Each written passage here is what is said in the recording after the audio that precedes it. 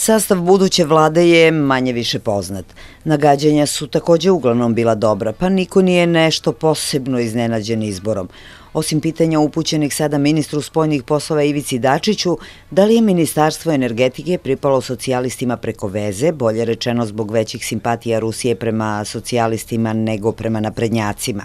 Odgovor ministra je naravno negativan. Čudna je želja onoga ko je nagađao da sazna odgovor na ovo pitanje – Šta bi dobio da je imao potvrdan odgovor? Da je zbog simpatija. Nekada su novinari tražili odgovore na pitanja koja imaju smisla i od nekakve su vajde za narod. Danas traže odgovore na pitanja čiji smisao izgleda ni sami ne razumeju.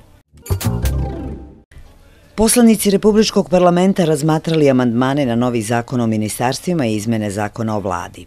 Ponovo, kao i bezbroj puta do sada, opozicioni poslanici u Skupštini boluju od sindroma kratkog pamćenja. Predložili da vlada umesto 16 ima 9 ministarstva. Vlast odgovara da ne može, malo je, ali opozicija uporna kaže tako bi se mnogo uštedelo.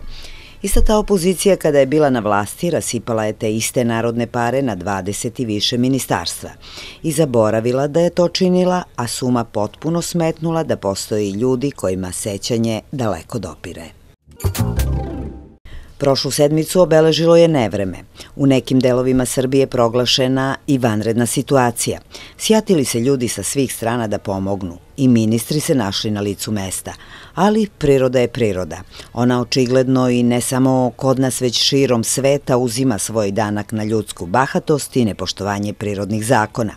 Čovek pokušava da joj menja iskonski red i plaća, a cena zakona prirode je jako visoka. Zbog nadošle reke u selu Bankovac u opštini Aleksinac utopilo se dvoje dece. Devojčica bacala kamenčića, upala u vodu, majka pokušala da je spasi držeći brata u naručju i tako je bujica odnela dvoje dece, a majka spašena. Ona je u pritvoru, osumnjičena zbog teškog krivičnog dela ugrožavanja sigurnosti. Prema posljednjim informacijama bila je nepažljiva jer je žurila kod ljubavnika. Neka mi bude oprošteno zbog nerazumevanja, ali bih pitala – Koja to majka ide na sastanak s ljubavnikom i vodi dvoje dece, a pritom preko nabujale reke? I koja će to majka svesno ugroziti sigurnost svoje dece? Imala bih ja još god da pitam, ali mi je pomalo muka od javnosti koja vešto sudi drugima i ponaša se kao publika u areni u kojoj se bore gladijatori. Srbija je prema analizama koje je sproveo institut Cato u Vašingtonu treća po siromaštvu u 90 siromašnih zemalja. Ispred nas su samo Venecuela i Iran. Na ovo bi svaki prosečan Srbin odgovorio. Ćuti nismo najgori, ima i gorih od nas. U Nišu protekle sedmice održana sednica Skupštine grada. Zanimljiva sednica. Prvi put su se direktori javnih preduzeća i ustanova našli u situaciji da podnose izveštaj koji vuče sa sobom konsekvence.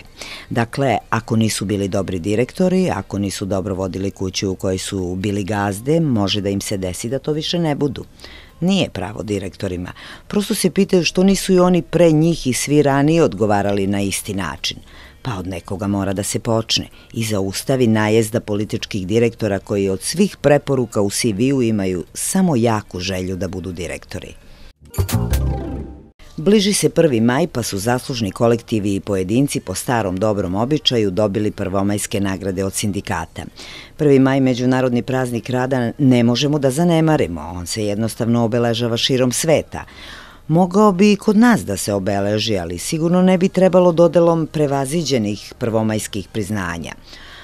Onaj ko je danas uspeo da pronađe uspešan kolektiv i zaslužnog pojedinca u kolektivu treba da dobije prvomajsku nagradu za pronalazaštvo. Kad smo već kod nagrada prilično čudno u najmanju ruku su mi zazvučale i nagrade policajcima koji su, kako je rečeno, pokazali požrtvovanost i profesionalnost na spasavanju ljudi i objekata iz poplava koje su tokom sedmice zahvatile pojedina područja. Pa zar to njima nije u opisu posla za koji inače primaju platu? U tom slučaju uvek treba nagraditi recimo hirurga posle uspešne operacije. Sve češće u poslednje vreme stanovnici pojedinih ulica izražavaju nezadovoljstvo zbog radova koji se izvode ili ne izvode, zbog rekonstrukcija i udarnih rupa na ulicama. Muka im kad se asfaltira pa im ne valja, a sad im opet muka jer se ne asfaltira. Promenilo se vreme, nema više asfaltiranja. Pokazalo se da je neisplativo i pogrešno. Nema vlasti bez ljudi, ljudi bez materijalnih dobara, materijalnih dobara bez prosperiteta, niti prosperiteta bez pravde i dobre politike. Razmislite, šta mi od svega ovoga imamo kao ponudu?